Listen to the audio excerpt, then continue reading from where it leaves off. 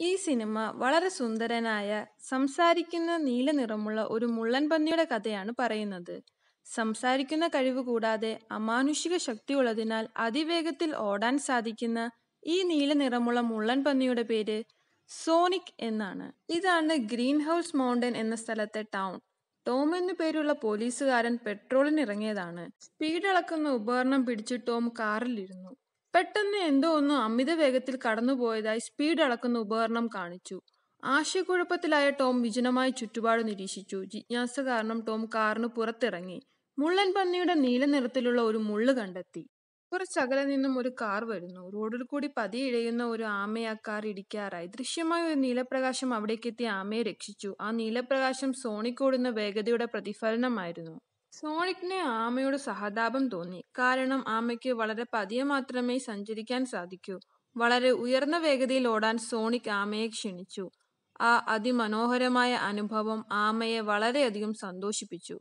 പുറത്തുള്ളവരിൽ നിന്നും ഒളിക്കാനായി ഭൂമിക്കടിയിലുള്ള ഗുഹയായിരുന്നു അവന്റെ വീട്. അവൻ അവന്റെ വീട്ടിൽ തിരികെ വന്നു. ഗ്രീൻ ഹിൽ എന്ന സ്ഥലത്ത് സോണിക് വളരെ സന്തോഷവാനായിരുന്നു. പ്രത്യേകിച്ച് എപ്പോഴും എന്തെങ്കിലും കുറിച്ചുകൊണ്ടിരിക്കുന്ന ടോമിനെ കണ്ടതിന് ശേഷം മുതൽ. വലുതും ചെറുതുമായ ജീവികളെ ഒരുപോലെ സഹായിക്കുന്ന ടോമിനെ ടൗണിലെ ഹീറോ ആയാണ് സോണിക് കരുതിയിരുന്നത്.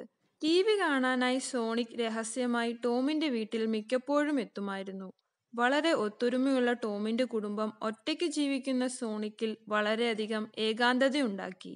ഒരു ദിവസം പതിവ് പോലെ ജോലിക്ക് ശേഷം മടങ്ങി വന്ന ടോമിന് അവന്റെ സുന്ദരിയായ ഭാര്യ മാഡി ഒരു കത്ത് നൽകി. സാൻ ഫ്രാൻസിസ്കോ പോലീസിലേക്കുള്ള അവന്റെ ആപ്ലിക്കേഷൻ അനുവദിച്ചുകൊണ്ടുള്ള ലെറ്റർ ആയിരുന്നു അത്. ടോം അതീവ സന്തോഷവാനായി. കാരണം അവൻ ആ ജോലി വളരെയധികം ആശിച്ചിരുന്നു. മറ്റൊരു സ്ഥലത്ത് കുട്ടികൾ ബേസ്ബോൾ കളി കളിക്കുന്നത് സോണിക് ഒളിഞ്ഞിരുന്ന് കാണുകയായിരുന്നു. കുട്ടികളെല്ലാവരെയും ഒരുമിച്ച് കളിസ്ഥലത്ത് കണ്ടപ്പോൾ സോണിക്കിന് അസൂയ തോന്നി. അന്നു രാത്രിയിൽ സോണിക് ഒറ്റയ്ക്ക് ബേസ്ബോൾ കളിച്ചു. കളിയുടെ എല്ലാ ഭാഗങ്ങളും അവൻ തന്നെ ഒറ്റയ്ക്ക് ചെയ്തതിനാൽ അത് അവനിൽ കൂടുതൽ ഒറ്റയ്ക്കാണെന്ന ചിന്ത തോന്നിപ്പിച്ചു. നിരാശ കാരണം അവൻ ശക്തിയിൽ ഓടാൻ തുടങ്ങി. അവന്റെ ഓട്ടത്തിന്റെ വേഗത അവന്റെ ശരീരത്തിൽ നിന്നും അത്യുന്നതമായ നീല നിറത്തിലുള്ള ഊർജമുണ്ടാക്കി. അതുകാരണം ഗ്രീൻ ഹില്ലിലെ എല്ലാ സിറ്റിയിലെയും കറണ്ട് പോയി. ഈ സംഭവം ഏതോ ശത്രുരാജ്യത്തിന്റെ പ്രവൃത്തിയാണെന്ന് ഗവൺമെന്റ് കരുതി. അവസാനം അതിനെക്കുറിച്ച് അന്വേഷിക്കാനായി അവർ ഒരാളെ ഗ്രീൻ ഹില്ലിലേക്ക് അയച്ചു. അന്വേഷണത്തിന്റെ ചുമതലയുള്ള ആ വ്യക്തിയാണ് ഡോക്ടർ റോബോണിക്. ആ പ്രദേശത്തിലേക്ക് നിരവധി ഗോളാകൃതിയിലുള്ള ഡ്രോണുകളെ അയച്ചുകൊണ്ട് റോബോണിക് ജോലി ആരംഭിച്ചു. ചുരുങ്ങിയ സമയത്തിനുള്ളിൽ പാറപ്പുറത്ത് പതിഞ്ഞ ഒരു ഷൂ പ്രിന്റ് ഡ്രോൺ കണ്ടെത്തി. ഷൂ പ്രിന്റിൽ നിന്നും ലഭിച്ച വിവരങ്ങൾ റോബോണിക്കിന് കൈമാറി. അതിന്റെ വിശകലനത്തിൽ നിന്നും ചെറിയ കാൽപ്പാടുകൾ മനുഷ്യന്റെ അല്ലെന്നും മനസ്സിലായി. അത് കണ്ടെത്താനായി ഡോക്ടർ റോബോണിക് നിരവധി പട്ടാളക്കാരെയും ഡ്രോണുകളെയും അവിടെ അയച്ചു. തന്റെ വാസസ്ഥലം തനിക്ക് ഇനി സുരക്ഷിതമല്ലെന്ന് സോണിക്കിന് മനസ്സിലായി. അവൻ ഉടൻ തന്നെ വീട്ടിൽ തിരികെ വന്നു. പുതിയ ഒരു സ്ഥലത്തേക്ക് മാറുന്നതിനായി സാധനങ്ങളെല്ലാം പാക്ക് ചെയ്തു. തന്റെ കയ്യിലുള്ള മാന്ത്രിക മോതിരത്തിന്റെ പ്രവേശന കവാടത്തിൽ കൂടി മറ്റൊരു സ്ഥലത്തിലേക്ക് പോകാൻ വേണ്ടി മോതിരം എറിയാൻ തുടങ്ങിയപ്പോൾ ടോം പെട്ടെന്ന് അവിടേക്ക് എത്തി രണ്ടുപേരും പരസ്പരം തുറച്ചു നോക്കിക്കൊണ്ടിരുന്നു. ടോം പെട്ടെന്ന് ബോധം കെടുത്തുന്ന ബുള്ളറ്റ് സോണിക്കിന് നേരെ ഉതിർത്തു. ടോമിന്റെ ഷർട്ടിൽ സാൻ ഫ്രാൻസിസ്കോ എന്ന വാചകം സോണിക് കണ്ടതിനാൽ സോണിക്കിന്റെ കയ്യിലുള്ള മോതിരം താഴെ വീഴുകയും സാൻ ഫ്രാൻസിസ്കോയിലേക്കുള്ള വാതിൽ തുറക്കുകയും ചെയ്തു. സോണിക്കിന് ബോധം നഷ്ടമായി. അവന്റെ കയ്യിൽ നിന്നും മോതിരത്തിന്റെ സഞ്ചി മോതിരത്തിന്റെ വാതിലിൽ കൂടി സാൻ ഫ്രാൻസിസ്കോയിലെ ഒരു കെട്ടിടത്തിലേക്ക് വീണു. ടോമിന് തന്റെ മുന്നിൽ നടന്നതൊന്നും വിശ്വസിക്കാനായില്ല. അവൻ സോണിക്കിനെ അവന്റെ വീട്ടിലേക്ക് കൊണ്ടുപോയി. സോണിക്കിന് ബോധം വന്നപ്പോൾ അവൻ സംസാരിച്ചു. സോണിക് സംസാരിക്കുന്നത് കണ്ട് ടോം ഞെട്ടി. രണ്ടുപേരും പരസ്പരം സംസാരിച്ചുകൊണ്ടിരുന്ന സമയത്ത് പുറത്തൊരു കറുത്ത വാൻ വന്നു നിന്നു അത് മറ്റാരുമായിരുന്നില്ല, സോണിക്കിനെ തേടി നടക്കുന്ന ഡോക്ടർ റോബോണിക്കായിരുന്നു. ടോം വെടിവെച്ച ബോധം കെടുത്തുന്ന ബുള്ളറ്റ് കാരണം സോണിക്കിന് ഓടാൻ സാധിക്കുമായിരുന്നില്ല. സോണിക് ടോമിനോട് സഹായം ആവശ്യപ്പെട്ടു. ടോമിന്റെ വീടിനു മുന്നിൽ ആ ചെറിയ കാൽപ്പാടുകൾ കണ്ടെത്തിയതിനാൽ ഡോക്ടർ റോബോണിക് അവന്റെ വീട്ടിലേക്കെത്തി. വീടിനുള്ളിൽ കയറാൻ വാശി പിടിച്ചു. എന്നാൽ ടോം അവന്റെ വീടിനുള്ളിൽ കയറുന്നതിൽ നിന്നും ഡോക്ടർ റോബോണിക്കിനെ തടഞ്ഞു. രഹസ്യമായി ഡോക്ടർ റോബോണിക് അനേകം ചെറിയ ഡ്രോണുകളെ ടോമിന്റെ വീടിനുള്ളിലേക്ക് കടത്തി. കുറെ ബോളുകൾക്കിടയിൽ ഒളിച്ചിരിക്കുകയായിരുന്ന സോണിക് ഡോക്ടർ റോബോണിക്കിന്റെ ഡ്രോണുകൾ അവിടേക്ക് വരുന്നത് കണ്ട് പേടിച്ചു. ഡ്രോൺ അവനെ കണ്ടെത്തുന്നതിന് മുൻപ് അവൻ ഒളിച്ചിരിക്കുന്നിടത്തു നിന്നും താഴെ വീണു. അതൊരു വലിയ ശബ്ദമുണ്ടാക്കി. സംശയാസ്പദമായി ആ ശബ്ദം കേട്ട് ഡോക്ടർ റോബോണിക് വീടിനുള്ളിലേക്ക് കയറി. എന്നാൽ ആ ശബ്ദം കേട്ട ഭാഗത്തെത്തിയപ്പോൾ അയാൾക്ക് ഒരിനം കരടിയെ മാത്രമേ കാണാൻ സാധിച്ചുള്ളൂ. അവിടെ നിന്നും പോകാൻ തുടങ്ങിയ ഡോക്ടർ റോബോണിക് സോണിക്കിന്റെ ശരീരത്തിലെ മുള്ള് അവിടെ കണ്ടു. ടോം കള്ളം പറയുകയാണെന്ന് മനസ്സിലാക്കിയ ഡോക്ടർ റോബോണിക് ഡ്രോൺ ഉപയോഗിച്ച് ടോമിനെ വെടിവെക്കാൻ തീരുമാനിച്ചു. വെടിവെക്കുന്നത് തടയുന്നതിനായി സോണിക് ഒളിച്ചിരുന്നിടത്തു നിന്നും പുറത്തു വന്നു. ഒരു സംസാരിക്കുന്ന മുളൻപന്നിയെ കണ്ട ഡോക്ടർ റോബോണിക് സ്തബ്ധനായി. ഈ സാഹചര്യം ഉപയോഗിച്ച് അവർ അവിടെ നിന്നും രക്ഷപ്പെടാൻ ശ്രമിച്ചു. എന്നാൽ ഡോക്ടർ റോബോണിക്കിന്റെ ഡ്രോണുകൾ അവരെ ആക്രമിച്ചു. ഒരു നീണ്ട അടിപിടിക്ക് ശേഷം ടോമും സോണിക്കും ടോമിന്റെ കാറിൽ കയറി രക്ഷപ്പെട്ടു. പ്രവേശന കവാടമുള്ള അവന്റെ മോതിരം കണ്ടെത്താൻ അവനെ സഹായിക്കണമെന്ന് സോണിക് ടോമിനോട് പറഞ്ഞു. താൻ കാരണമാണ് സോണിക്കിന് അവന്റെ പ്രവേശന കവാടമുള്ള മോതിരം നഷ്ടമായത് എന്ന കുറ്റബോധത്താൽ ടോം സാൻ ഫ്രാൻസിസ്കോയിലുള്ള ആ മോതിരം കണ്ടെത്താൻ തീരുമാനിച്ചു. രാത്രിയായപ്പോൾ ടോം അവന്റെ ഭാര്യയെ ഫോൺ ചെയ്യുന്നതിനായി കാർ പാർക്ക് ചെയ്തു. കാറിൽ ഒറ്റയ്ക്കായ സോണിക് ഒരു മോട്ടോർ ബൈക്ക് സംഘം പാർട്ടി നടത്തുന്നത് കണ്ടു. ജിജ്ഞാസ കാരണം സോണിക് അവർക്കൊപ്പം ആഘോഷത്തിൽ പങ്കെടുത്തു.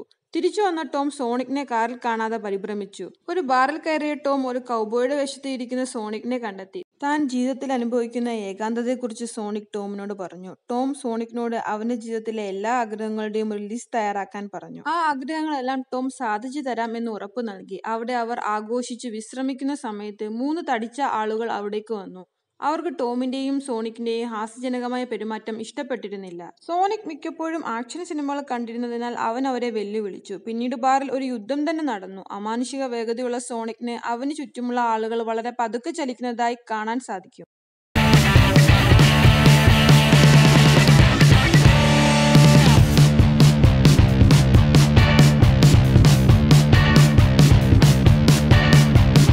ബാറിലെ ബഹളത്തിനു ശേഷം രണ്ടുപേരും ബാറിൽ നിന്നിറങ്ങി ഓടി കാറിൽ അവരുടെ യാത്ര തുടർന്നു. വഴിപോക്കർ തങ്ങുന്ന ഒരു സ്ഥലത്തെത്തിയ അവർ കുറച്ചു സമയം പരസ്പരം സംസാരിച്ചു. അതിനുശേഷം സോണിക് ഉറങ്ങിപ്പോയി. സോണിക്കിന്റെ ആഗ്രഹങ്ങളുടെ ലിസ്റ്റിൽ ഒരു ആഗ്രഹം കൂടി സാധിക്കാനുണ്ടെന്ന് ടോം കണ്ടു. ഒരു യഥാർത്ഥ സുഹൃത്തിനെ ലഭിക്കുക എന്നതായിരുന്നു ആ ആഗ്രഹം. അതിനുശേഷം ടി വിയിൽ ടോം ഒരു തീവ്രവാദിയാണെന്നും സോണിക്കിനെ സംരക്ഷിച്ചതിനാൽ വളരെ അപകടകാരിയാണെന്നുമുള്ള വാർത്ത അവൻ കണ്ടു. രണ്ടുപേരും അവരുടെ യാത്ര തുടർന്നു.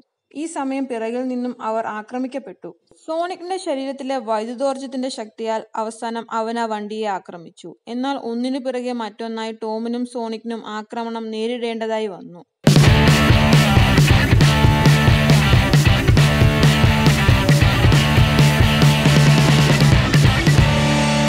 ടാങ്കിന്റെ ഒരു ചെറിയ ഭാഗം സോണിക്കിന്റെ കയ്യിൽ കുടുങ്ങി. സോണിക് ആ ചെറിയ വസ്തു ഊരിയെടുക്കാൻ ശ്രമിച്ചു. അത് പൊട്ടിത്തെറിച്ചു. ആ സ്ഫോടനത്തിൽ സോണിക്കിന് ബോധം നഷ്ടമായി. മറ്റൊരു സ്ഥലത്ത് ഡോക്ടർ റോബോണിക് സോണിക്കിന്റെ നീലമുള്ളുകൾ വളരെ തിളക്കമാർന്ന് പ്രകാശിക്കുന്നതും അതീവ ശക്തിയാർന്ന വൈദ്യുതോർജം ഉണ്ടാക്കുന്നതും മനസ്സിലാക്കി. ഈ മുള്ളുകൾ വലിച്ചു പറിച്ച് അതിൽ നിന്നും എനർജി ഉണ്ടാക്കാമെന്ന ബുദ്ധി റോബോണിക്കിനുണ്ടായി. ബോധരഹിതനായ സോണിക്കിനെ ടോം സാൻ ഫ്രാൻസിസ്കോയിലേക്ക് കൊണ്ടുപോയി. അവിടെ സഹോദരിക്കൊപ്പം താമസിക്കുന്ന ടോമിന്റെ ഭാര്യ മാഡിയെ കണ്ടു. ടോം ഒരു പിടികിട്ടാപ്പുള്ളിയാണെന്ന് ടി വിയിൽ കൂടി അറിഞ്ഞ മാഡി ദേഷ്യപ്പെട്ടു. അവസാനം ടോം കാര്യങ്ങളെല്ലാം മാഡിയോട് വിശദമായി പറയുകയും സോണിക്കിനെ കാണിക്കുകയും ചെയ്തു. ഒരു മൃഗഡോക്ടറായ മാഡിക്ക് സോണിക് ഏതു തരത്തിലുള്ള മൃഗമാണെന്ന് മനസ്സിലായില്ല. എങ്കിലും ഒരു മരുന്ന് നൽകിയപ്പോൾ സോണിക്കിന് ബോധം തിരികെ ലഭിച്ചു. സോണിക്കിന്റെ കീറിയ ഷൂസ് കണ്ട മാഡിയുടെ സഹോദരിയുടെ സുന്ദരിയായ മകൾ അവനൊരു പുതിയ ഷൂസ് നൽകി. സോണിക് അതീവ സന്തോഷവാനായി. കാരണം അവന് ജീവിതത്തിൽ ഒരിക്കലും ഇതിനു മുൻപ് ആരിൽ നിന്നും ഒരു സമ്മാനവും ലഭിച്ചിട്ടില്ല. അവസാനം സോണിക്കിന്റെ മോതിരസഞ്ചി വീണ കെട്ടിടത്തിന്റെ അടുത്ത് മാഡിയും ടോമും സോണിക്കിനെ കൊണ്ടുപോയി. കെട്ടിടത്തിനുള്ളിൽ കയറി കെട്ടിടത്തിന്റെ മുകളിലെത്തി. സോണിക് അവന്റെ മോതിരസഞ്ചി കണ്ടെത്തി. എങ്കിലും സോണിക്കിന്റെ മുഖത്ത് ദുഃഖം നിഴലിച്ചു. എന്തെന്നാൽ ടോമിനൊപ്പമുള്ള ഓരോ ദിവസവും അവന്റെ ജീവിതത്തിലെ ഏറ്റവും മനോഹരമായ ദിവസങ്ങളായിരുന്നു. സോണിക് അവന്റെ പ്രവേശന കവാടമുള്ള മോതിരം ഉപയോഗിക്കാൻ തുടങ്ങിയപ്പോൾ ഡോക്ടർ റോബോണിക്കിന്റെ ഡ്രോണുകൾ അവരെ മൂന്നുപേരെയും വളഞ്ഞു. അതിൽ സൂപ്പർ എയർക്രാഫ്റ്റിൽ ഡോക്ടർ റോബോണിക്കും ഉണ്ടായിരുന്നു. അതവർ മൂന്നുപേരെയും ആക്രമിക്കാൻ തുടങ്ങുന്നത് കണ്ട് സോണിക് ടോമിനെയും മാഡിയെയും കെട്ടിടത്തിന് മുകളിൽ നിന്നും താഴേക്ക് തള്ളിയിട്ടു ശേഷം സോണിക് അവന്റെ അമാനുഷിക ശക്തിയാൽ ഡോക്ടർ റോബോണിക് വിട്ട എല്ലാ മിസൈലുകളും വളരെ പതുക്കെ വരുന്നതായി കണ്ടു. ഡോക്ടർ റോബോണിക്കിന്റെ സൂപ്പർ എയർക്രാഫ്റ്റ് സോണിക്കിന്റെ മുകളിൽ നിന്ന് ലഭിച്ച നീല ഊർജത്താൽ നിർമ്മിതമായതിനാൽ സൂപ്പർ എയർക്രാഫ്റ്റിനും സോണിക്കിന്റെ വേഗത കൈവരിക്കാൻ സാധിക്കും. കൃത്യസമയത്ത് കെട്ടിടത്തിന്റെ മുകളിൽ നിന്നും വീണ ടോമിനെയും മാഡിയെയും സോണിക് മോതിരത്തിന്റെ പ്രവേശന കവാടത്തിലൂടെ ഗ്രീൻ ഹില്ലിലെ സിറ്റിയിൽ എത്തിച്ചു. ടോമിനെയും മാഡിയെയും രക്ഷപ്പെടുത്തിയ ശേഷം സോണിക്കും ഡോക്ടർ റോബോണിക്കും തമ്മിലുള്ള ചേസ് തുടർന്നു.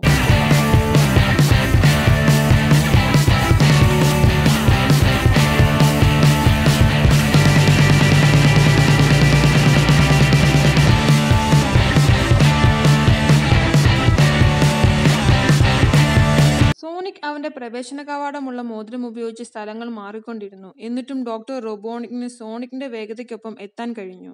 അവസാനം സോണിക് ഗ്രീൻ ഹില്ലിലേക്ക് മടങ്ങിച്ചെല്ലാനായി പ്രവേശന കവാടമുള്ള അവന്റെ മോതിരം ഉപയോഗിച്ചു. എന്നാൽ മോതിരത്തിനുള്ളിൽ കടക്കുന്നതിന് മുൻപായി ഡോക്ടർ റോബോണിക് സോണിക്കിനെ ഇടിച്ചു. ആ ഇടിയിൽ ഗ്രീൻ ഹില്ലിൽ വന്നു വീണ സോണിക്കിനെ ഡോക്ടർ റോബോണിക് വീണ്ടും ആക്രമിച്ചു. ഡോക്ടർ സോണിക്കിനെ ടോം തടയാൻ ശ്രമിച്ചു. നിർഭാഗ്യവശാൽ ടോം പരാജയപ്പെട്ടു. ഗ്രീൻ ഹില്ലിലെ എല്ലാ താമസക്കാരും ടോമിനും സോണിക്കിനും ഒപ്പം ചേർന്നു. എന്തെന്നാൽ അവർ ടോമിനെ അവരുടെ രക്ഷകനായും സോണിക്കിനെ ഗ്രീൻ ഹിൽ സിറ്റിയിലെ ഒരു അത്ഭുതമായും അവർ കണക്കാക്കി. ഒട്ടും താമസിക്കാതെ ഗ്രീൻ ഹില്ലിലെ സിറ്റി തന്നെ നശിപ്പിക്കാൻ ഡോക്ടർ റോബോണിക് തീരുമാനിച്ചു. സോണിക് എഴുന്നേൽക്കാൻ ശ്രമിച്ചു. കാരണം അവന് അവനെ രക്ഷിച്ച ഗ്രീൻ ഹില്ലിലെ ജനങ്ങളെ സംരക്ഷിക്കേണ്ടതായുണ്ട്. സോണിക് അവന്റെ പവർ ഉപയോഗിച്ച് ഡോക്ടർ റോബോണിക്കിന്റെ സൂപ്പർ എയർക്രാഫ്റ്റിലുള്ള അവന്റെ നീല മുള്ളുകളിലെ വൈദ്യുതോർജം തിരികെ വീണ്ടെടുത്തു. ശേഷം സോണിക്കും ഡോക്ടർ റോബോണിക്കും തമ്മിലുള്ള അവസാന യുദ്ധം തുടങ്ങി.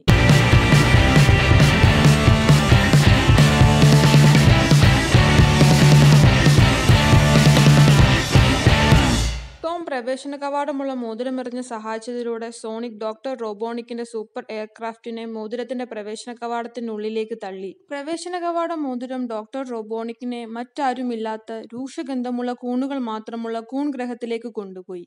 സോണിക്കിന്റെ വിജയം ഗ്രീൻ ഹില്ലിലെ ജനങ്ങൾ ആഘോഷമാക്കി. ഈ സംഭവം ടോമിനെ തിരിച്ച് സാൻ ഫ്രാൻസിസ്കോയിലേക്ക് പോകുന്നതിൽ നിന്നും പിന്തിരിപ്പിച്ചു. ടോം സോണിക്കിനൊപ്പം ഗ്രീൻ ഹില്ലിൽ താമസിക്കാൻ തീരുമാനിച്ചു. അതിനുശേഷം ടോം അവന്റെ വീടിന്റെ മുകളിലത്തെ നിലയിൽ സോണിക്കിനായി പുതിയൊരു വീട് ഉണ്ടാക്കി കൊടുത്തു അതിൽ സോണിക് അതീവ സന്തോഷവാനായി. ടോമിനെയും മാഡിയെയും സ്വന്തം സുഹൃത്തുക്കളായും കുടുംബമായും കണ്ട സോണിക് അവർക്കൊപ്പം താമസിച്ചു. കൂൺ ഗ്രഹത്തിൽ ഡോക്ടർ റോബോണിക് സോണിക്കിന്റെ അപ്പോഴും സജീവമായ നീലമുള്ളുമായി പകരം വീട്ടാനായി തയ്യാറായി. സിനിമയുടെ അവസാനം സോണിക്കിന്റെ മോതിരം പോലെയുള്ള മറ്റൊരു മോതിരം പ്രത്യക്ഷപ്പെടുന്നു. ഒരു സുന്ദരനായ മഞ്ഞപ്പന്നി അതിൽ നിന്നും പുറത്തു വന്നു. അവൻ സോണിക്കിനായി തിരയുന്നു. അവനും സോണിക്കിന്റെ അതേ കഴിവുകളുണ്ട്. സിനിമയുടെ സെക്കൻഡ് പാർട്ട് വരുന്നതിനായി നമുക്ക് കാത്തിരിക്കാം. Please subscribe this channel for more reviewing videos bye